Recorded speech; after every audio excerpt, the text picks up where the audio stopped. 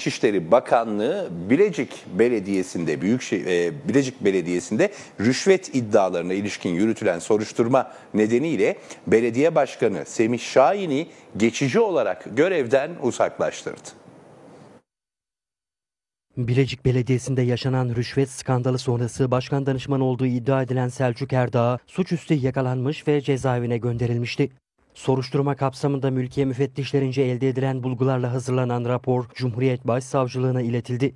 Bilecik Cumhuriyet Başsavcılığı'nın yürüttüğü soruşturmaya belediye başkanı Semih Şahin de dahil edildi.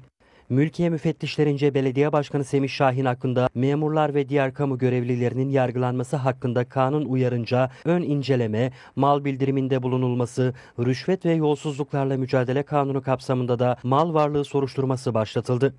İçişleri Bakanlığı Mülkiye Teftiş Kurulu tanıkların ve ifade sahiplerinin baskı altına alınmaması, suç delillerinin yok edilmesinin, karartılmasının ya da değiştirilmesinin önüne geçilebilmesi, yapılacak ön inceleme ve soruşturmaların selameti için Başkan Şahin'in geçici olarak görevden uzaklaştırılmasını talep etti. Bunun üzerine Semih Şahin, İçişleri Bakanı Süleyman Soylu'nun onayıyla geçici olarak görevinden uzaklaştırıldı.